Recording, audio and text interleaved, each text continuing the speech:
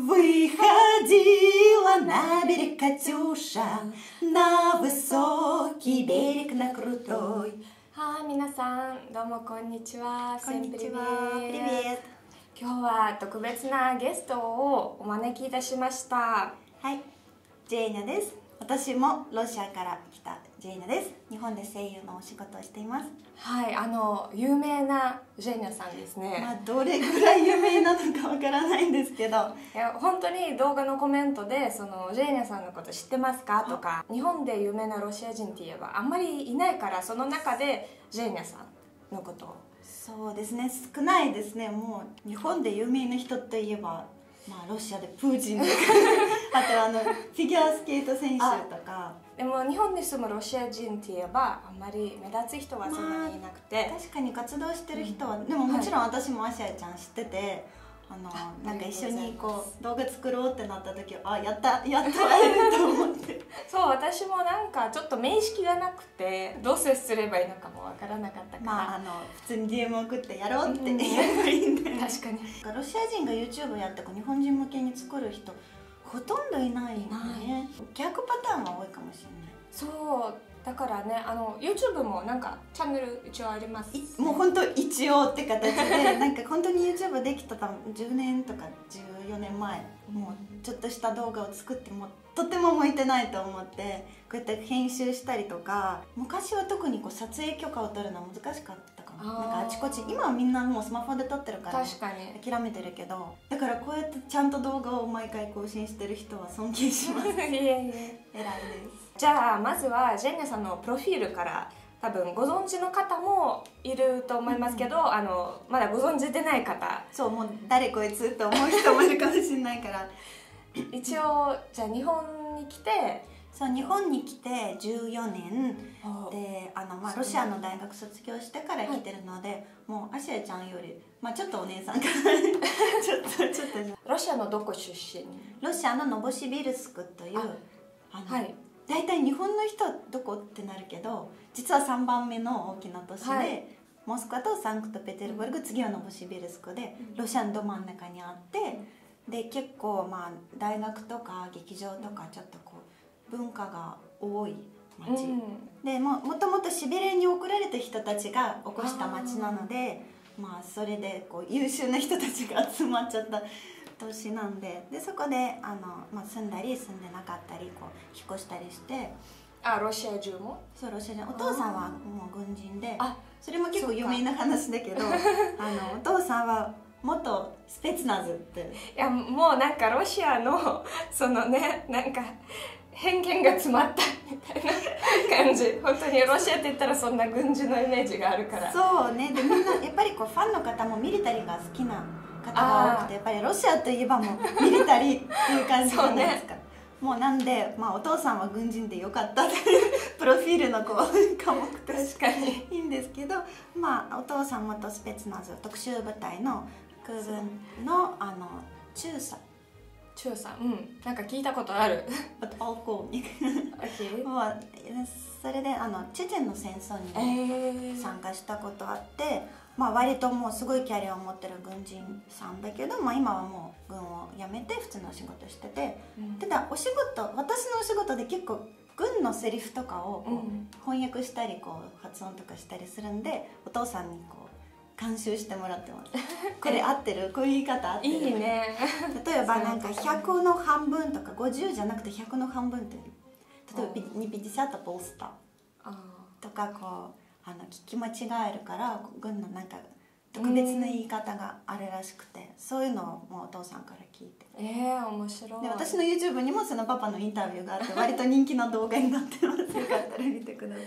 あそうジェネさんのチャンネルもリンク概要欄に貼っときますので皆さんもぜひ。もうでも全然更新してない。か らじゃああの代表的な作品は何でしょうか？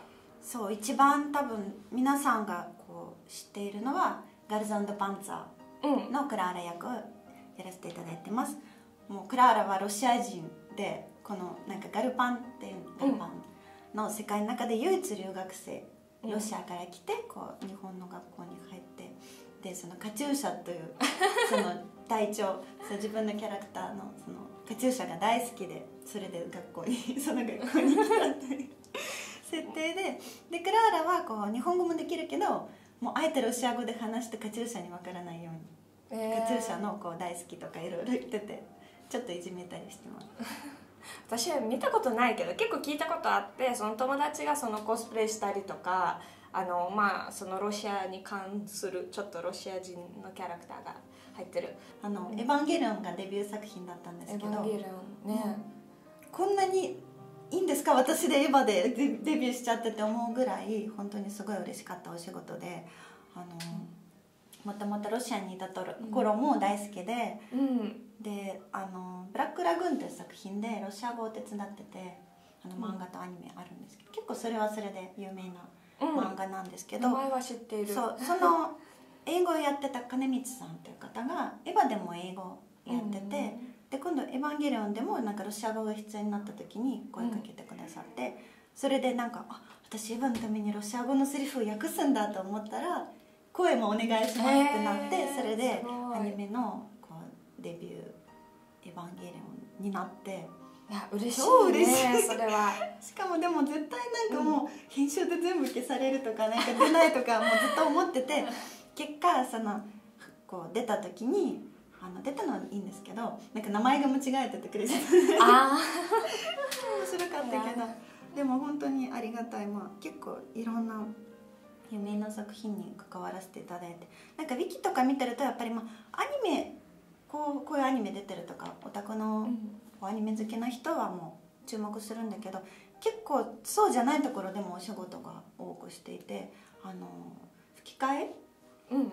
吹き替え。え映画のなんか海外のドラマとか映画の吹き替えを日本語にする。えー、とか結構ロシアのキャラクターがちょろちょろ出てくるから、へー。その時の発音指導とか日本人の声優さんに発音教えたり、まあ、自分でちょっと出たりとかしてなんかマーベル系とかも多くて、えー、すごい。X メンとかアイアンマンとかなんかありがたい。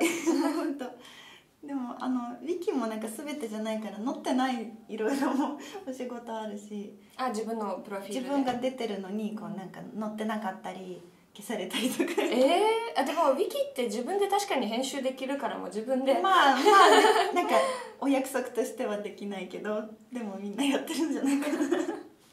そうウィキペディアもねこうファンの方が更新してくれるとありがたいなってアニメで言えば「カイト・ジョーカー」というちょっと子供向けのアニメあるんですけど結構多分こう普通のこうオタク向けのアニメが好きな人はあまり見たことないかもしれないけど結構もう日本語しか喋らないキャラクターをやっていてちょっとこうなんか悪役えー、悪役でで猫に変身してちょっと可愛く喋ったりする。えー、いいね。というの多分初めて日本語だけのレギュラーはカイト・ジョーカーのレディ・ダウトという、まあ、し知る人は知るみたいなあとはまあもう多分一番アニメではないんですけど一番よくみんな知っているのはテレビでロシア語ああはい NHK のロシア語講座でもうあの顔出しって言うんですけど、うん顔出てて喋るのと、あともう今やっているロシア語好きというまたロシア語講座の NHK のやつでナレーションあー全体的なナレーションしてるんですけど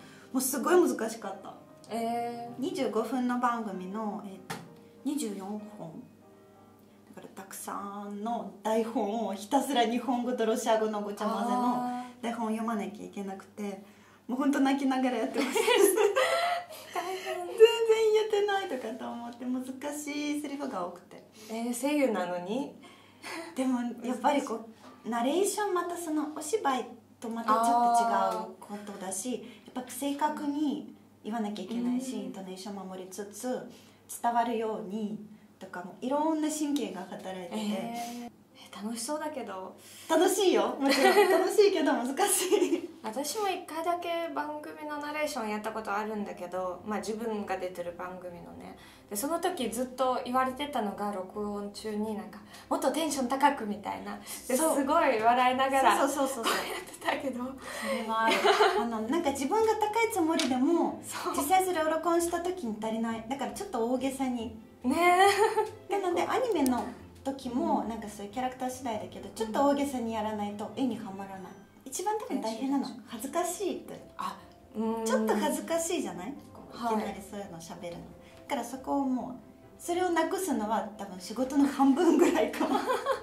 恥ずかしくないよっていう勢いでえー、でもなんか恥ずかしくなさそうっていうかプロの人って逆にできるよっていうのは特技だから恥ずかしいもん。人の前でやるよりはやっぱ台本こうやって見てあ誰にも見えてないからできるシャイな人が多いと思う声優ーさん。そうなんだ。セリフがにセリフにこの環境に助けられてる こう台本見て自分だけの世界を作ってその声を出すっていう。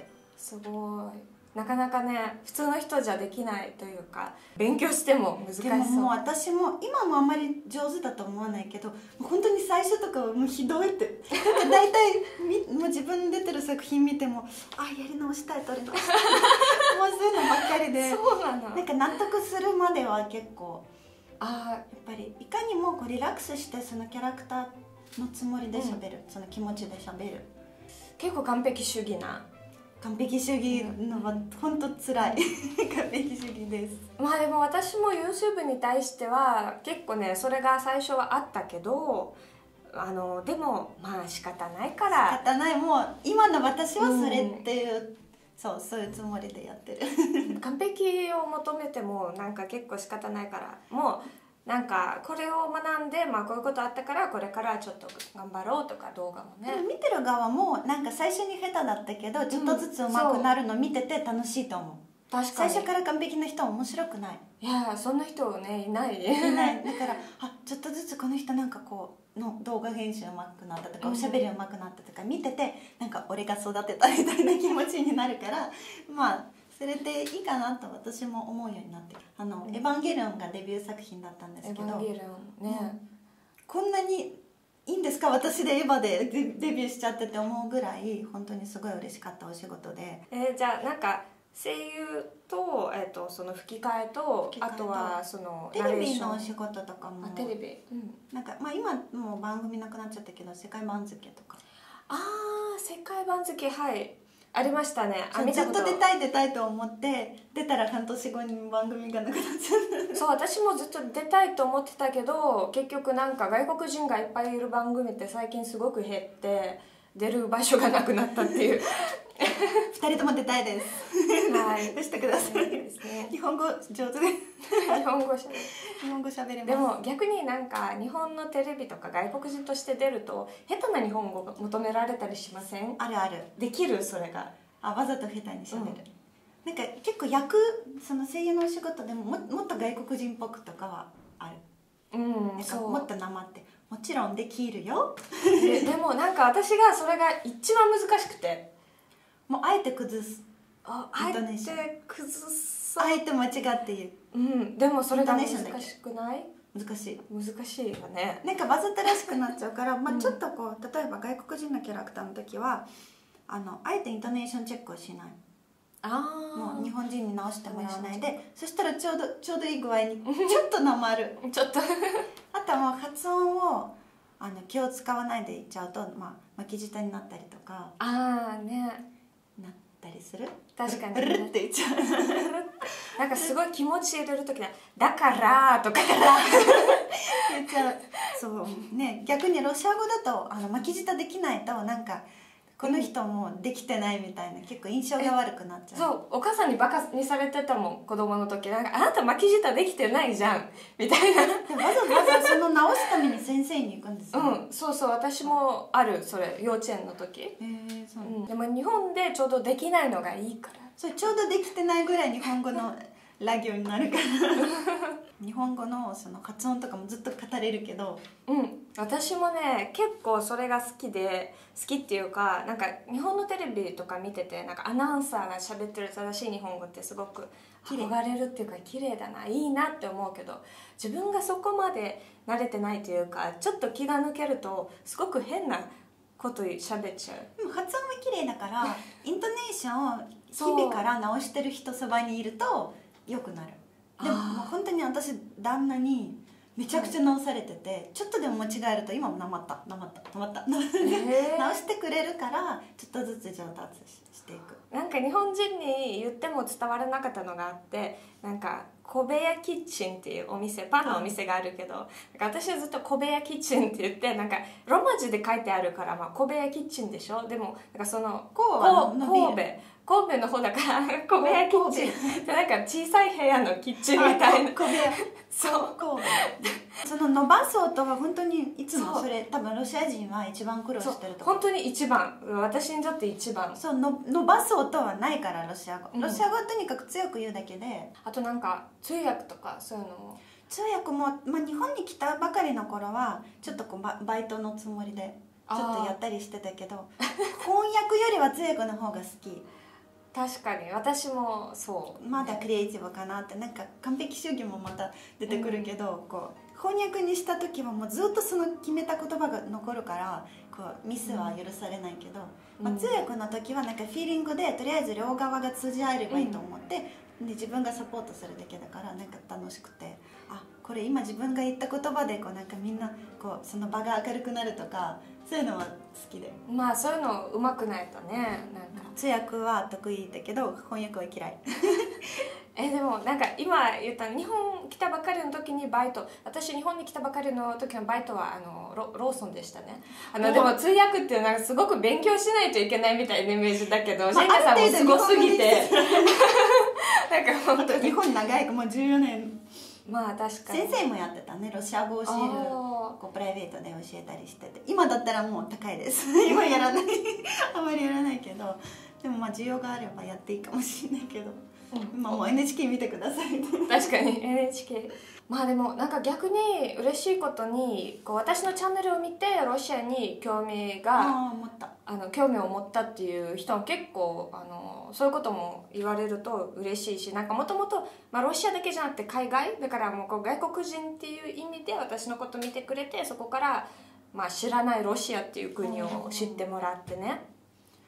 でももうなんか日本人のロシアのイメージはやっぱりこうなんか寒いクマウォッカみたいなこうピロシキ、ロシアンティーとかそういうイメージが多いけどなんかこう多分私たちがそのイメージを崩すっていうよりは広める。なんか実はこれだけじゃないし寒いだけじゃないしとかそう。そういうのずっとなんかやらなきゃいけないなと思って。そう私結構ねそれか感じてる、はい。そうやっぱりこうあとなんかもうこう何歳とか超えたらロシア人はもうこうすごい太ってとか。ああもうやめてほしいというイメージもあってまあ私もやっぱりこう、まあ、年を重ねることであん15歳の私ともう違うかもしれないけど15歳でもまあ40とか3040とかになっても、まあ綺麗な人は綺麗だよこうちゃんと、ロシアはもう大きい国だし人も日本と同じぐらいの人口なんでうん、うん。いろいろあります。もういろんなあったかい地域もあるしなんかウォッカだけじゃないし意外とねみんなビールとか飲むしね。まあ。まあウォッカはもうなんか 飲まなかったり。日本人みんな日本酒飲むわけじゃないでしょ？確かに。なんでもっとロシアをこう知ってほしい。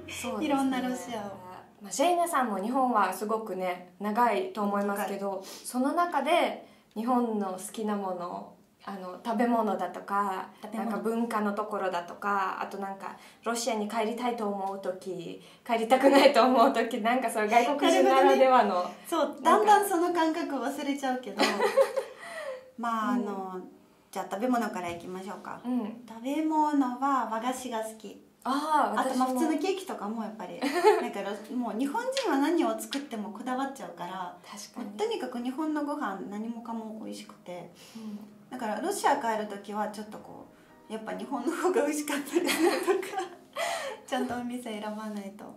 日本になくてこうロシアにあるのはやっぱりあのカテージチーズ系のもの、うん。なんか乳製品ね。そう乳製品の日本の少なさはびっくりする。なんでこんな少ない？なミルクあるじゃん。もっといろいろ出そうよ本当に、ね。であとはあのきのこマリネ。きのこああきのこもなんかビオレグリブああはいはい、はい、日本のきのこがなんかこう小さいというかあまり味がしないイメージがあって、えなんかロシアのきのこやっぱりすごく香りも良くてこう濃厚な感じなんでそれをさらにマリネしては好きー、あでも日本はなんか松茸とかなんかすごくそう日本は誇る松茸はあのロシアのきのこと比べたらやっぱり物足りないの私,、えー、私はねそうなんだ。個人の意見で。えでも私逆にロシアってキノコその秋夏秋頃に森に行ってキノコ狩りするけど普通のスーパーでなかなか売ってない他の時期は。あスーパーで多分買えないから、まあ、やっぱりそのそう日本はスーパーいつどの時期行ってもキノコいっぱいいろんな種類あるから私それが大好きで結構もう毎日のようにキノコ料理あそんするなにキノコ好きなの？結構好き。そうキノコとチーズがあるもう最高。あチーズも少ないよね日本は。なんか少ないから高い、でも最近はなんかある程度売ってるそうちょっと高いやっぱロシア帰るたびにチーズとソーセージとかハムとか カテージチーズとかキノコとか食べる。でもお肉は日本の方が美味しい気がする、まあそうだね。それはそうお肉とか肉魚とかね。料理とか。もう魚はもうもちろん日本がさ もうロシアは魚全然。まあ川魚かなんかサーモン極東とかの方だけ？結局日本に近い方。もうね日本海があるからロシア海が、まあ、ほぼないから。遠い。あのよく多分聞かれると思うんだけどロシアよく帰るんですか？ロシアはここ最近もうほぼ毎年、まあ、毎年123回とか帰ったり。すごい。こあのゲームシンフォニージャパンというコンサートをお仕事で？お仕事でしてて、あとまあなんか日の出とかイベントとかでうん。モスクワ行ったりとか、ね。まあ、基本的にこう仕事でついでに帰る。あでも仕事ロシアで仕事行ったけど実家は行かなかったというあ時もあったりとかしてあとなんか地元行って地元でもコンサートやったりとか、まあ一番嬉しいんだけど。最近あのノブシビルスクと直行便ができてそうそうそう。最高、ね近かった。いいね。今まで羨モスクワまでしい10時間飛んでそこから4時間さらに飛ばなきゃいけなかったのはこうこうじゃなくてここからこうで6時間直接6時間、もう本当にありがたい、うん、じゃあ一番最後にうんうん。あの皆さんよく リクエストでいただくあのカチューシャをカチューシャをすごくお上手なあの プロの方にあの、はい、一緒に歌わせてもらっても一人でそんな歌できないからそうねカチューシャはあのガルパンにもこう出ていてそうそうそう。あの本当になんか日本人もみんな馴染馴染みがある曲で、だからもうここ最近ライブやる時は歌わないライブなんてほとんどなくて 私覚えてる？うん覚えてるけどでも大体なんかロシアでちょっと、まあ、悲しい歌っていうかあんまり嬉しい歌ってほどでもなんかちょっと切ない感じの歌、もうロシアの歌大体切ない歌が多いと思うそうか歌ってみましょうかじゃあテイクワン Расцветали яблони и груши, Поплыли туманы над рекой. Выходила на берег Катюша, На высокий берег, на крутой. Выходила на берег Катюша, На высокий берег, на крутой. Выходила, песню заводила Про степного сизого орла Про того, которого любила Про того, чьи письма берегла Про того, которого любила Про того, чьи письма берегла Ну вот ここまでもっともっとなんかこう声出していいんじゃない 確かにもう全然なんかその発声練習とか多分あのやると思いますけど普段。何にもしてないから 多分あのやったら上手くなれると思うよ。大大丈夫大丈夫。大丈夫かな。えー、じゃあなんか歌次からも。うなんか歌ってみたのせ私 確かにちょっとやってみたい実は。でも自信がなくて。結構みんなやってるじゃないそうみんなやってるから自信新しいジャンル新しいカテゴリーで。うんなんか誰かがこうちょっとギターかなんかピアノを弾いてくれてまあ、それは理想的だけどそれ私もやりたい本当は。誰かこう弾いてくれれば。え実際できる？なんか歌うの楽歌うできない楽器はできないかあらそう。子供の頃が音楽学校ほんのほんのちょっと行っててなんかもっとちゃんと行けばよかっ私も一応6年ぐらい行ったけど結構子供だったからそれ以降はそんなにた触れてな6年もいたらもう弾けるんじゃない？あなんかそうだけど最近全くやってないから思い出せばゃいピアノあるから持ってくる。じゃあ皆さんあのジェニアさんと一緒に撮った動画気に入ったらまた今度も一緒に何か動画作りたいと思うので,、ねリクエスト募集。何を歌ってほしいとか。歌ってほしい。何を喋ってほしいとか。ねどっか行ってみてほしいと。2人だけどまた皆さんもしこのコラボレーション見たくなったらもう次はロシア語でやろう。ああロシア語でもいい、ね、そしたらみんなもう困るけど。字幕が大変。日本語で頑張ります頑張ります。でもシュールだね。2人ともロシア人なのに日本語で喋るってえでもさっき動画回る前に本当ロシア語だったずっと打ねち合わせロシア語早いから。じゃあ皆さん次もあのよかったら一緒に動画撮るのでお楽しみにしててください、ね今日はジェイナとあアシアでした。ご視聴ありがとうございました。りがとう。パカパカ。スパシバうん